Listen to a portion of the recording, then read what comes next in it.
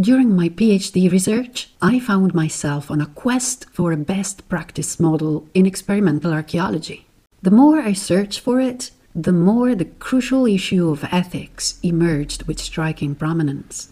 Having an ethical perspective in our research activity means being aware of our moral choices on a daily basis regarding our work environment, how we communicate our results, how we approach our research practice from a sustainability point of view. In other words, our research integrity, i.e., how we actually perform our research activity. The Singapore Statement for Research Integrity is based on the concept that, regardless of the philosophical assumptions, the theoretical frameworks, the diversity of disciplines, and the geographical location, there are ethical standards in research which provide a baseline for all. It is based on four major principles honesty, accountability, professional courtesy, and good stewardship, which flow into 14 responsibilities. The first of which is integrity. We need to take full responsibility of our research trustworthiness. And naturally, we also need to adhere to regulations in this respect.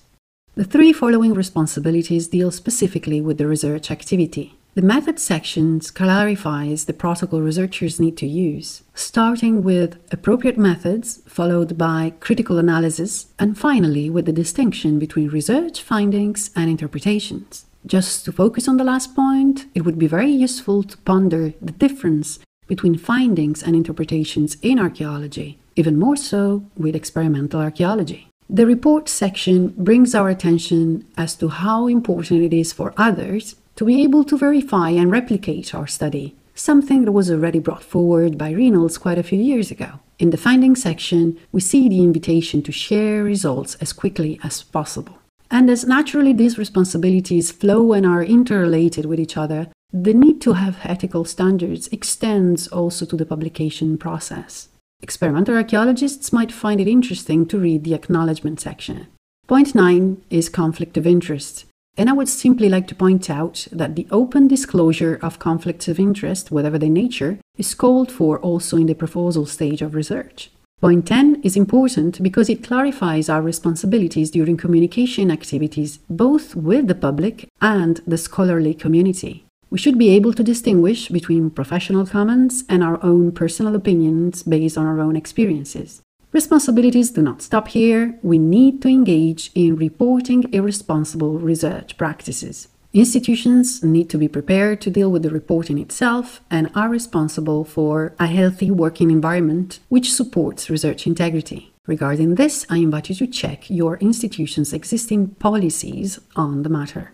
Finally, the last responsibility deals with the societal considerations. Researchers should evaluate the benefits and the risks for society that are embedded in their research activities, including environmental risks. By considering just the societal risk, remember the historical roots of the misuse of archaeology in the justification of power and the active, dynamic role that experimental archaeology has performed since the very start of the phenomenon at the end of the 19th century. The current global situation seems to indicate the need to deeply reflect on this issue. Moreover, experimental archaeology, as others before me have noticed, places itself between research and communication. This means that we are not just communicating our research results, we are actually also communicating how we perform our research at the same time. In some instances, the research context might coincide with the communication context such as in the case of educational institutions opening to the public and archaeological open-air museums in which experimental archaeology is performed as a research practice with the public.